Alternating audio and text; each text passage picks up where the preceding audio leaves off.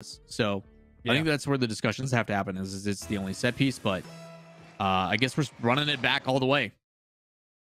Maybe not. Maybe.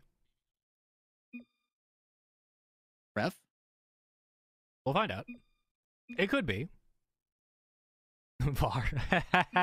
I love, dude. I love Europe. It's so fun. Oh, it's great. I love it. Um, topic.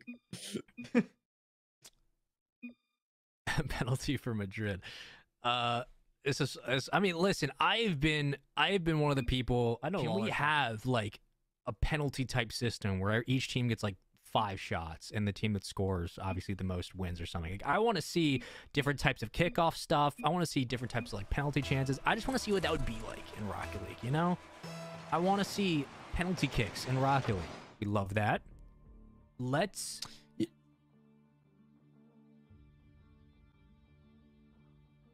What do we do? Let's what? Just let's. Predict? yeah, just let's. What, Oh, what's oh, predict? What do we predict?